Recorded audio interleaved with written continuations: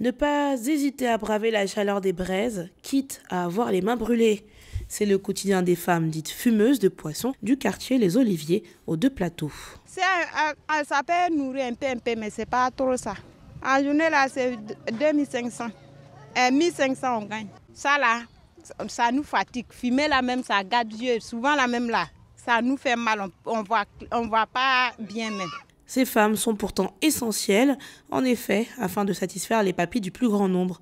Les poissons et autres viandes qu'elles préparent sont revendus dans les marchés d'Abidjan, le tout dans des conditions difficiles. On a ici, on travaille.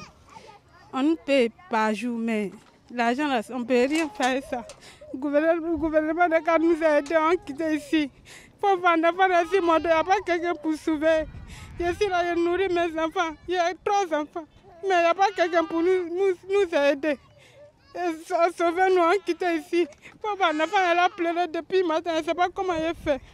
En 2021, le FAO tirait la sonnette d'alarme sur la situation de ces femmes. L'instance mondiale estime qu'à l'échelle nationale, 50% des femmes fumeuses de poissons sont atteintes de maladies respiratoires.